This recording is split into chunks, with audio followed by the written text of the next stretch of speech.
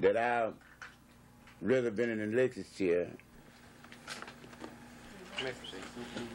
The purpose of, of this Does that change your, your view of, uh,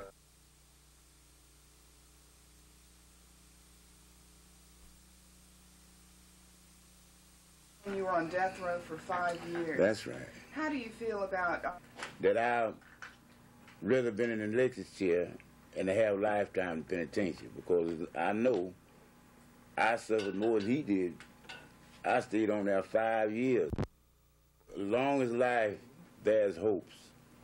If a man wants his life taken, that's his business. You know, I just think it's crazy for one thing.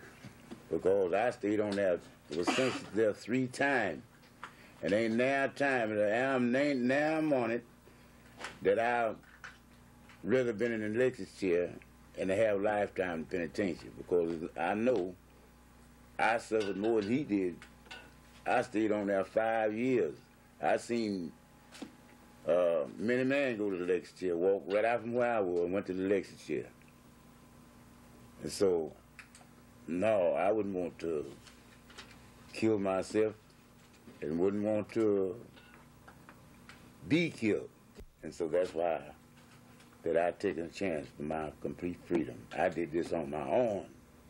Mr. Norris? Um, I understand you were on death row for five